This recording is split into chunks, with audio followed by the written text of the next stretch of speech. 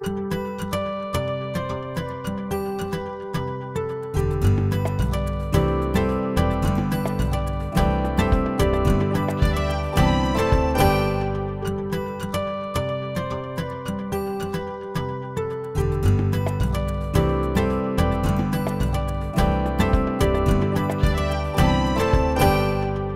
let's talk about density. What if you had equal volumes of fresh water and salty water? Which one would weigh more?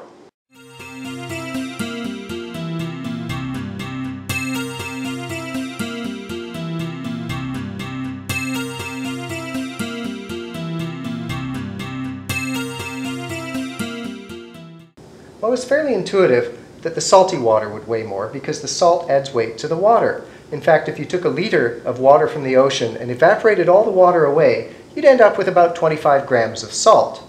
Now what about warm water and cold water? Which one of those weighs more? Well, if there were equal volumes, the cold water would weigh slightly more. And so we expect the bottom of the ocean to be filled with cold, salty water because it sinks to the bottom. The surface of the ocean should be warm and fresh, and that's exactly what we find. The surface waters are warmed by the sun, so they're hotter than the deep waters, and also we have freshwater input from the land around the oceans.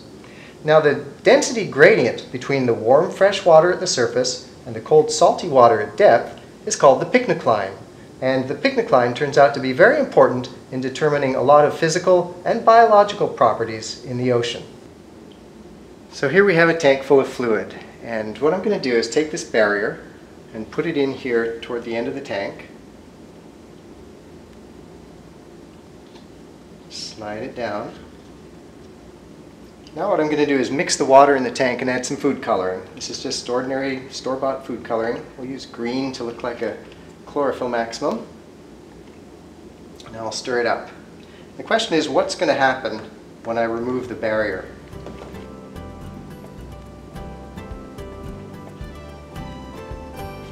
Most people would guess that it's either going to completely mix, it'll go to the top, or it'll go to the bottom.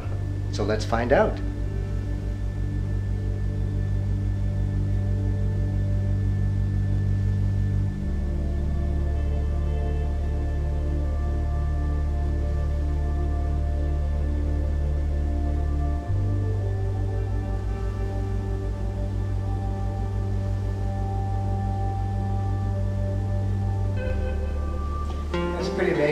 Things to notice are that it's moving very slowly and that the amplitude, the vertical extent of it is pretty big compared to something that you might see at the surface of the ocean.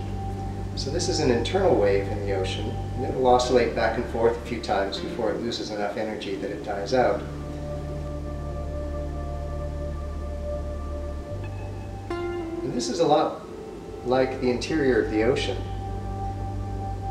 The movements in the interior of the ocean are very slow, but they're also very large vertically. So waves inside the ocean might only move at 25 centimeters a second, but they can be 100 meters tall. If you saw a 100 meter wave on the surface of the ocean, you'd get very worried. So the question is why did this happen? And the way I had originally set the tank up, we had a layer here at the surface that was fresh water and a layer of salty water down below it. The salty water is more dense and it would tend to sink, so it stayed on the bottom of the tank. And this is just like the ocean.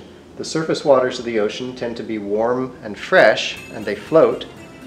The deeper waters of the ocean are cold and salty, so they sink. And the region that separates the warm fresh water from the cold salty water is called the pycnocline. It's a region of strong vertical density gradient in the ocean.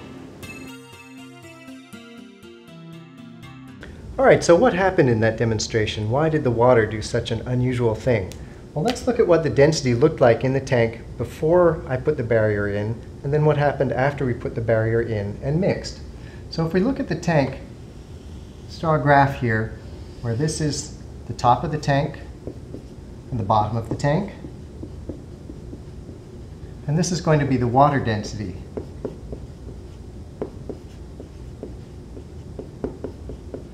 Where we have low density over here and high density water over here. This would be the cold, salty, and warm, fresh. So at the surface of the tank, we had low density water, and that went about halfway down the tank. and then the density suddenly increased where we had the salty water below. So that was what a density profile looked like in the tank. Now after we mixed, we mixed the salty water with the fresh water, and we ended up making water that was intermediate in density. So it was saltier than the fresh water, but fresher than the salty water.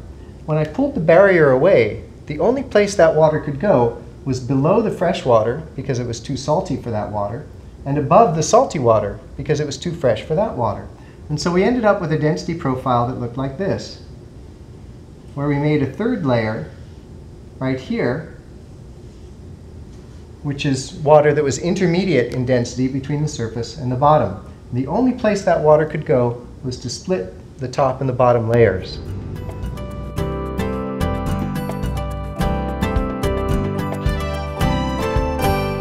So one of the really striking things that you saw in this demonstration is that plug of green water moved so slowly across the tank and also its vertical motions were very large compared to anything you'd see at the surface of the tank.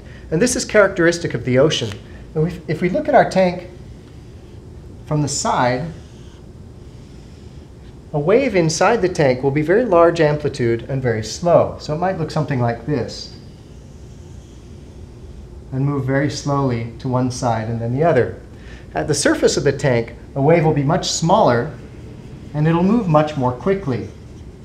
And this is because of the restoring force. The restoring force inside the ocean is caused by the density gradient. So we have warm fresh water overlying cold salty water, and that density difference is actually very small. And so these waves can move up and down over very large distances, but they move very slowly. It's the difference between jumping up and down on planet Earth and jumping up and down on the moon, where you'll go much higher, but it'll take much longer to come back down. At the surface of the ocean, the density difference is between the water and the air. And this is a very big density difference, and it makes the waves very small, and they also travel very quickly. And so what we see inside the ocean are these very large amplitude waves. A wave inside the ocean, it wouldn't be unusual to find one that was 30, 40, 50 meters in amplitude. And if you ever saw that at the surface of the ocean, you'd be very worried. This is bigger than most of the buildings that we can see. And so uh, surface waves tend to be just a few meters in amplitude. They move quickly. Inside the ocean, the motions are very big vertically, but very slow.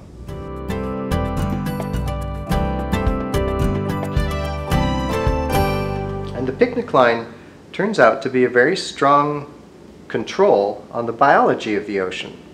And we're going to explore that now. So when the wind blows on the ocean, it can cause turbulence and make mixing.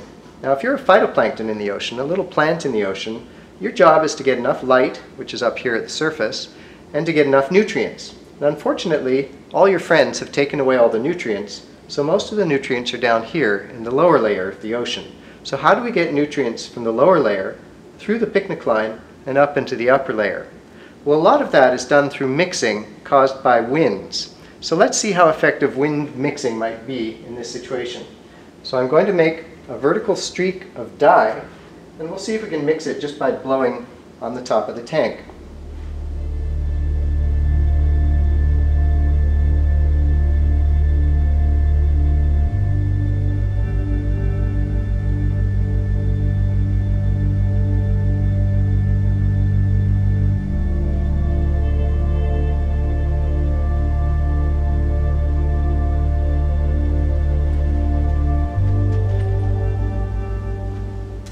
Let's make a really big hurricane.